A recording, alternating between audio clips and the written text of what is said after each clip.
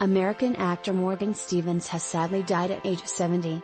The Melrose Place star was found at his home on Wednesday, January 26, after police carried out a wellness check.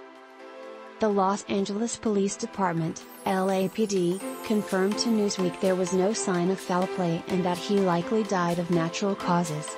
The official cause of death examination is pending. In the wake of his passing, and famous faces left emotional tributes online. Stevens shot to fame as Paul Northridge in the drama series The Waltons. He appeared in three of the reunion movies before landing his breakout role on Fame as teacher David Reardon. Newsweek has taken a look back at Stevens' top five roles over his long career. Melrose Place was Morgan Stevens' best known role. In the soap opera, he played the role of Nick Diamond, the Parezi family attorney.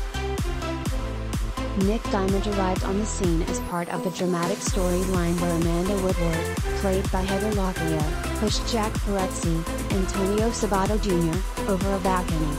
He sustained serious injuries and later died in hospital and lawyer Nick Diamond knew somebody out there was responsible for Jack's death. Stevens' character Nick was also responsible for uniting father and son, Bobby Parezi, John Enos III, and Vince Parezi, David Groh, at Jack's funeral. He only appeared in seven episodes throughout 1995, but made his mark in the show's legacy as one of its most memorable characters. You can watch Stevens in Melrose Place now via Paramount Plus. Stevens starred in the NBC musical drama series Fame, which aired between 1982 and 1987. The series was based on the 1980 film of the same name. In Fame, Stevens played the role of teacher David Reardon, appearing in seasons 2, 3, and 4. In Fame, he starred opposite Debbie Allen, Albert and Carol Mayo Jenkins and performed musical hits such as You Got Trouble from the 1957 Broadway musical, The Music Man.